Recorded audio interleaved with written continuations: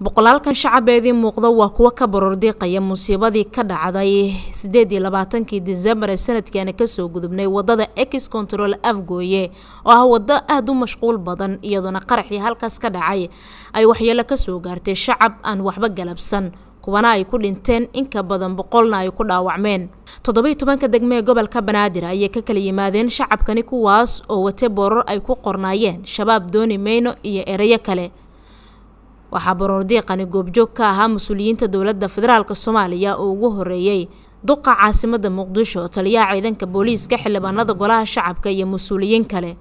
Banaanbaxan waxaa lagu qabtay fagaaraha weyn ee iskool buluusiya inkastoo la ilaalinayay oo ay sugayeen ammaankiisa ciidamada dowladda.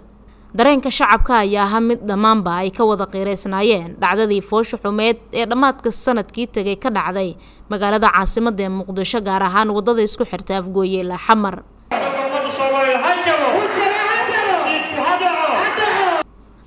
intaasi kadib waxaa madasha ka hadlay xildhibaan daahir amin jeeso oo ka mid ah mudanayaasha golaha shacabka waxaana uu sheegay in marnaba la aqbali karin waxyaabaha dagaalamayaasha al-shabaab ay ka fulinayaan magaalada caasimada ee muqdisho. Annagu shabaab waan ka aarsanaynaa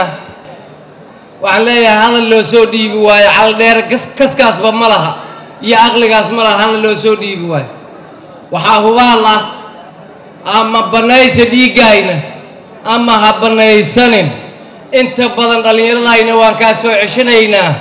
adiga keliga ahaanan baadiyaha kuugu dili doonnaa insha allahu ilaahay idinkii. Taliyaha ciidanka booliiska soomaaliyeed sarreeya gaas cabdi xasan maxamed xijaar waxa uu shacabka ku kala nool dhammaan degmooyinka gobolka banaadir faray inay la shaqeeyaan ciidamada ammaanka gaar ahaan ciidamada booliiska. Iyo garab istaaga ciidanka ku howlan amniga sooma amniga magaalada ku howlan waxaa ciidamadu ka howlgalaan booliiska haddaan ka hadlo toddobiyo tobanka degmo. Waxay habeenkii u soo jeedaan inta dadku hurdo waxay u soo jeedaan badbaadada in qof waliba habeenkii uu ku sooxdo gurigiisa hantidiisana aroortii la yimaado. Gudoomiyaha gobolka banaadir ahna duqa caasimada muqdisho cumar maxamuud maxamed filish oo boqolaalkii shacab baroodiiqaya la hadlay ayaa sheegay in marnaba aysan aqbali doonin. Amni darada al-shabaab iyo qaraxyada ay ka fuliyaan magaalada caasimada ee muqdisho. Islamarkaana taasi waxa uu ku tilmaamay mid marnaba aan la aqbali karin dadka hantida haysta gaar ahaan kuwa ganacsatada ayuu faray inaysan aqbalin lacagaha baada ah ee laga qaado taasuu ku micneeyay inay tahay lacagahaasi mid shacabka lagu dhibaateynayo cid kasta oo ay baadi jireen kooxda maafiyada ah ee inay tidhaahdo aniga baad damba maya. Inaan dhinto iyo inaan noolahay waa mid ilaahay u gaara laakiin baad aniga laygu baabi'inayo gurigayga lagu baabi'inayo ubadkayga lagu baabi'inayo ma bixinayo.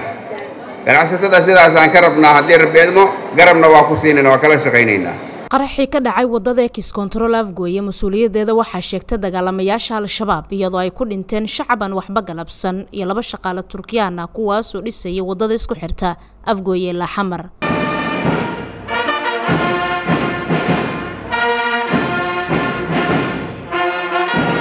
Faadimo cabduqaadir xasan shabeelle t v muqdisho